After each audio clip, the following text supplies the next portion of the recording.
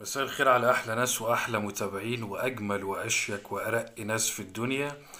إيه، حلقة النهاردة ممكن تكون ما اتعملتش قبل كده وممكن تكون اتعملت ولكن إحنا هنحط إضافات فيها. أنا برحب بكم كده في البداية وأستنى شوية على ما تتجمعوا عشان نبدأ في موضوع مهم. ممكن في إناث معظم الإناث إن ما كانش كل الإناث بتتمتع بالرومانسية. ولكن الغلط لما يكون في أنثى رومانسية بزيادة مع بعض رجال الأبراج اللي ما بتحبش الصفة دي. طمنوني على الصوت رجاء في البداية والصورة عشان نبدأ إن إحنا آه، نكمل وبرحب بيكم كده. والجديد برضو عرفنا بنفسه عشان نرحب بيه. واللي ما اشتركش بقى يشترك كده وينضم وشيروا على قد ما تقدروا وتوقعوا. كل حد يتوقع معانا كده مين هيكون المركز الأول. هنبتدي بقى وعذرا للي هيجي. متأخر في المركز ال 12 حد توقع؟ رجل الدلو الهوائي. بمعنى لو انت أنثى رومانسية قوي وهترتبطي بالرجال دي خلي بالك إن الموضوع ممكن ياخد طريق غلط. ما يعجبكيش بعد كده وما تفرحيش في البدايات. في البدايات كل الرجال مهما كان فيك من عيوب بتحاول تبين لك إن هي متقبلاها ولكن بعد فترة هتحس إن هو اتخنق من الموضوع ده. يبقى أكتر رجل في الرجال كلها اللي لازم تكوني مش هقولك ما تبقيش رومانسية خالص ولكن خليكي معتدلة.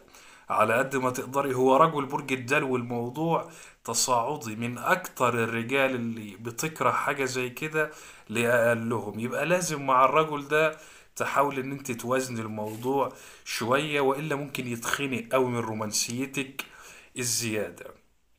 هنعلى نوصل للمركز ال 11 هنلاقي رجل آخر يعني متقارب منه وليس بأحلى أو بأحسن حال منه هو رجل القوس الناري. برضو الرجل ده ما بيحبش الأنثى اللي هي رومانسية أوي حط تحت كلمة أوي دي خمس ست عشر خطوط لأنها هي الكلمة المحورية. أعلى منهم وكده هنوصل للمركز العاشر. رجل آخر بيشل برضه هو رجل برج العذراء الترابي. في حد بيقول لي الصورة مش باينة وحد بيقول لي الصوت فأنا هبدل على الراوتر التاني. طيب كده طمنوني على الصوت والصورة.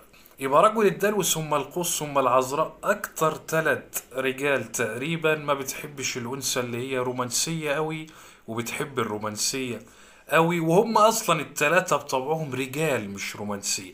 هندخل في منطقة وسطى الرجال اللي هي بين البنين اللي هي في منطقة وسطى زي ما إحنا بنقول وتوقعوا واكتبوا معايا أنا شايف التعليقات قدامي. هنلاقي في المركز التاسع الرجل الحديدي ذو القلب الحديدي والمشاعر الحديدية رجل الجدي الترابي. بيجي في المركز التاسع عشان برضو يميل يميل للرجال اللي ما تحبش الرومانسية قوي وممكن تتخنق منها عذرا بس أنا بنوركم صدقوني ده صحي للعلاقة. كل الرجال دي تفضل الأنثى المعتدلة. هنبدأ إن إحنا نخش في الجد شوية. مع رجل ها يعني سنة مقارنة بغيره هو رجل برج الثور الترابي. والأنثى الرومانسية قوي بتعاني في المسألة دي لو مرتبطة برجل طور. هي تتشقلب يا عيني ورومانسية وورد وشموع. وكلام وتفضل تلات أيام تعمل كده على ما يبدأ يطلع كلمة واحدة رومانسية. ده ليه؟ لأنه ما بيحبش الرومانسية العالية. هو بيتشابه مع أخواته البعدة اللي سبقونا من الرجال. كل الرجال دي في منطقة وخلاص بقى بدأنا ندخل في إيه، الرجال اللي هي الموضوع عندها متقبل. تقدر إن هي تتقبله تقدر إن هي تمشي معاه بالعكس رجال القمة هتلاقي مطلب أساسي عندهم الأنثى الرومانسية. ولو مش رومانسية يحس إن في حاجة ناقصة في شريكة حياته. الجوزاء في المركز السابع. رجل برج الجوزاء في المركز السابع. يعتبر الموضوع عنده بسيط قوي ومش مهايبر قوي وبرضه في المعقول قوي ولكن هنا بقى نقدر نقول خليك رومانسية فوق المتوسط شوية. رومانسية فوق المتوسط شوية مع رجل برج الجوزاء. أعلى منه في المركز السادس برجي اللي هو برج الحمل الحبيب العزيز. دي الأبراج اللي تميل إن هي بتطلب أنثى رومانسية اللي هي بتحب الأنثى الرومانسية اللي هي ما تنزعجش قوي من الدباديب والهدايا. وبحبك مليون مرة وحشتني ستمائة ألف مرة.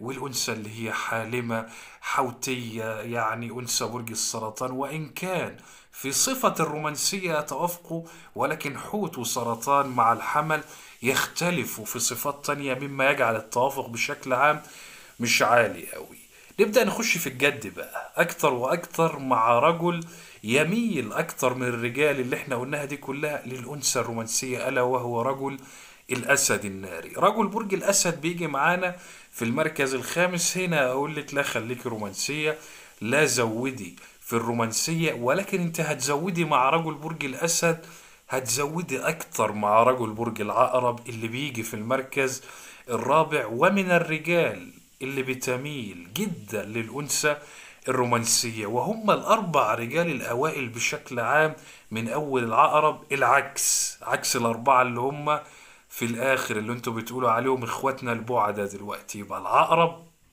في المركز الرابع وفي المركز الثالث رجل آخر أشد منه في الموضوع ده هو رجل الميزان الهوائي. رجل الميزان لفلفي براحتك معاه. لفلفي طيري فوق السحاب وطيري فوق الأنهار والمياه وقولي كلام أشبه بالخزعبلات. عادي ما هي الرومانسية دائما حالمة وكثيرا ما تبتعد عن أرض الواقع لتصل إلى عنان السحاب. مع رجل برج الميزان مفيش إزعاج أبدا في الموضوع ده. في المركز الثاني نعلى أكتر وأكتر في رجل تاني أشد حبا وأشد هوسا وبعيد تماما عن موضوع حلقتنا هو رجل برج السرطان اللي بيجي في المركز التاني السرطان عايز واحدة رومانسية وإن لم تكن رومانسية ممكن يفكر في الابتعاد عنها أو الارتباط بغيرها. الأول أكيد معروف رجل أو امرأة هو الحوت المائي. لا يمكن مهما كان في برج رجل أو امرأة يصل لدرجة ال- الحوت. في الرومانسية وفي إعطائها وفي استقبالها. رجل برج الحوت حاجة تانية في الموضوع ده. أنجزنا كل الأبراج خدناها بالترتيب. نصائح مهمة. قوي ونقدر إن إحنا نقول عنوان للحلقة دي الدباديب وخطرها على العشاق. يعني ممكن نغير بعد اللايف إيه، أو نكتب الحلقة دي الدباديب وخطرها على العشاق. فمع نكتب الحلقة دي الدباديب وخطرها على العشاق. فمعانا طبعا الجماعة اللي هم الفريق اللي جه تحت ده ده الدباديب خطر. في رجال الدباديب في العلاقة خطر عليهم اللي هم أخونا الدلو أخونا التاني القوس ابن عمنا ال- العذراء. الرجال دي بوجه نداء من موقع هذا لكل النساء. الدباديب خطر عليهم فما تطلبوش دباديب ياما آه، منهم. لو حد عنده أي سؤال في موضوع الحلقة أو بره موضوع الحلقة يقول لي خمس دقايق كده نبدأ إن إحنا ندردش في التوافق في العلاقات في موضوع الحلقة في أسباب البعد في ليه سايبني في الحب من طرف واحد فأعترف ولا لا فلما يعترف لي أعمل إيه؟ يعني الموضوع إيه، يعني إيه، لولا إيه، برج الدلو بتقول دباديب مين؟ هات لي سندوتش شكله أقسم بالله لأن أنا عارفها بتعلق كتير فهي برج الدلو. يعني حتى مش رجل الدلو اللي ما بيحبش الدباديب كمان الأنثى. بجيبش حاجة من عندي. حجابي جنتي إزيك يا نجم؟ الله يخليك. رايقة قوي ميزانية رايقة. الله الله الحوت. آه الحوت طبعا الله الله عليه في حاجات وحاجات تانية هيجننك فيها على فكرة يعني. أنا برج السرطان هلا أحمد بعشق الرومانسية؟ شور أكيد من غير ما تقولي. أنا عارف إن أنت خلقتي لأجل الرومانسية. بعد رجل الطور مفيش. آه عشان مرتبطة بيه ولسه بقى ما شفتش الوجه الآخر. أو انتي فيكي إيه طباع يعني إيه متلائمة معاه فعشان كده بتشوفيه بيرفكت مية مية تمام مفيهوش أي غلط. أنا بحب فعلا الرومانسية ريهام محمد برج الأسد طبعا أنثى الأسد أعلى من رجل الأسد في حبها للرومانسية. ولكن برضو خلي بالك لو رومانسي 24 ساعة باستمرار هتديله على قفاه. خلي بالك يعني لأن أنثى أنثى الأسد كده ساعات بتيجي مش عايزة رومانسية بقى عايزة جد. عايزة واقع شوية وممكن الشبشب يطلع في الحالة دي. يعني من الحالات اللي ممكن أنثى الأسد تطلع فيها الشبشب هي الحالات دي. وأنا دايما بقول أنثى الأسد أكتر أنثى بتدي بالشبشب. ربنا يجعل كلامنا خفيف عليهم. رجل السرطان بيهرب من الرومانسية استحالة يا نوال. يا إما سرطان مضروب اللي أنت عرفتيه إيه، يا إما في حاجة غلط لأن في بعض الناس تبقى مثلا مولودة في يوم وعلى ما اتكتبت في البطاقة يوم تاني فتدخل الدنيا ببعضها عشان كده. لما حد بيسألني عن برجه أقول له ماليش دعوة بالبطاقة أنا عايز أعرف اليوم الحقيقي اسأل والدك أو والدتك أو أخوك الكبير أو عمك أي حد أنا واحد من الناس مكتوب في البطاقة برج ويوم ميلادي برج تاني. والله بكلمكم بجد. يعني أنا في البطاقة طور. ولكن ال- الحقيقة 8 4 اللي هو حمل حمل يعني. فدي حتة بيقع فيها كتير مننا وبياخدش باله. أنا ده وزوجي عقرب في مشاكل يعني فين وإن شاء الله تتحل. إيه، إن برج الحمل عشق الرومانسية حب الصور. آه امرأة الحمل والأسد أشد من رجال البرج ده في النقطة دي في حبها إيه، للرومانسية بشكل عام.